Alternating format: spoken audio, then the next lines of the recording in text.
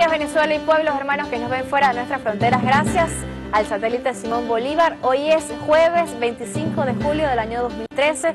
Hoy es día de Caracas. 446 años cumple esta ciudad capital de Venezuela, una ciudad de milagros cotidianos. Y precisamente nos vamos a Petare. Allí se encuentra el ministro para la Comunicación e Información, Ernesto Villegas, en el lanzamiento oficial del proyecto comunicacional y escénico Comunicalle. Esto a propósito del aniversario de nuestra ciudad capital. Ir a constatar que estás muerto. Esa era la Venezuela de la que veníamos. Una Venezuela que trató de utilizar la imagen de Bolívar como una cosa eh, sacralizada, alejada de nuestro pueblo, como un ícono eh, venerable sencillamente, pero que no tenía carne, que no tenía vigencia en su, en su propuesta, en su pensamiento, en los motivos de su lucha. Hoy hay conciencia en Venezuela y en América Latina de que Bolívar vive y vive en nosotros, en el pueblo que le hereda, y que la obra de Bolívar por construirse está.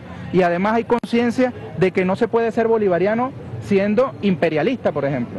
Bolívar tiene en su esencia un carácter antiimperialista y eh, nuestros pueblos cada vez están mucho más conscientes de eso. Por eso Bolívar es peligroso. Por eso en las portadas de la prensa oligárquica venezolana ayer hubo eh, fotografías desplegadas del nacimiento de un niño real, entre comillas, y no el despliegue del rostro del niño inmortal del niño Simón.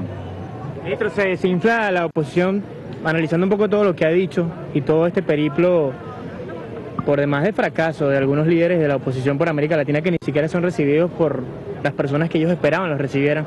Se desinfla la oposición como de hecho dicen algunos medios de derecha a nivel mundial en este momento. Bueno, lo está diciendo la derecha, pero eh, el pueblo venezolano se va a encargar de desinflarlos el 8 de diciembre. Con toda certeza veremos cómo estos señores que primero dijeron que eh, las elecciones no eran transparentes, no eran limpias, pues terminarán inscribiendo sus candidaturas con el mismo Consejo Nacional Electoral, con el mismo sistema electoral, con las mismas máquinas captahuellas, con el mismo Plan República y veremos contradecir su propia política del desconocimiento con su participación en el proceso electoral. Una cosa loca, verdaderamente eh, insostenible, eh, si se quiere ser coherente con un discurso. Bueno, los veremos inscribirse y los veremos competir y los veremos ganar en algunas circunscripciones donde en efecto tienen un mm, peso electoral. Pero, ¿qué harán en aquellas jurisdicciones como estas donde estamos parados en este momento, donde con toda certeza van a morder el polvo de la derrota? ¿Van a reconocer su derrota o van a seguir con la cantaleta del fraude. ¿Vas a seguir, Abigail? Ministro, tenemos un proyecto para el municipio Sucre, especialmente para Petare a partir del 8 de diciembre.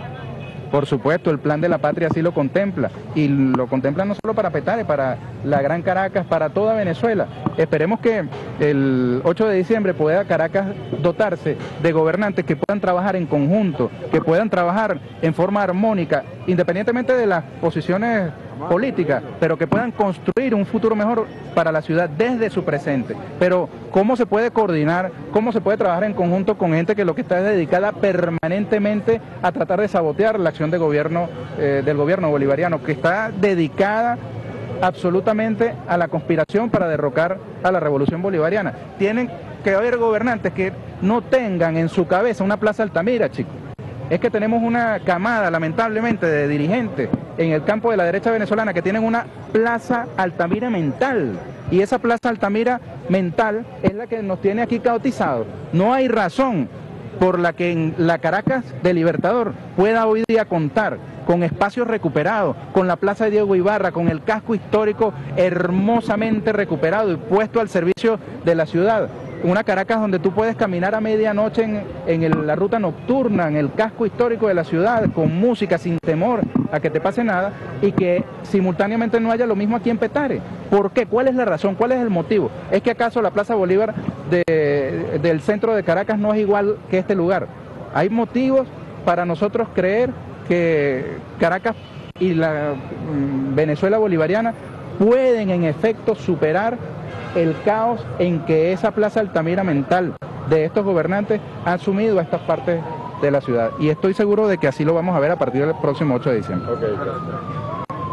Bien, palabras del ministro Ernesto Vallegues, ministro del Poder Popular para la Comunicación e Información, luego de lo que fue el lanzamiento oficial de este movimiento comunicacional y artístico como lo es Comunicalle en esta Plaza Francisco de Miranda. Lamentablemente difícil de mostrar por el caos que se ha sembrado en esta zona ante la falta de gobierno del alcalde Carlos Ocarí. Escuchábamos palabras del ministro Ernesto Villegas haciendo referencia también al panorama político actual. Esta es parte de la información que se maneja a esta hora. Comunicalle también va a ser lanzado en la Plaza Bolívar a eso de las 11 de la mañana. Por supuesto, la información primero a través de las pantallas de Venezolana de Televisión para todo el sistema bolivariano de comunicación e información. Adelante, estudio. Gracias a nuestro compañero Jordán Rodríguez desde Petare, donde el ministro para la Comunicación y la Información lanza el proyecto Comunicalle a propósito del aniversario de nuestra ciudad capital, Caracas.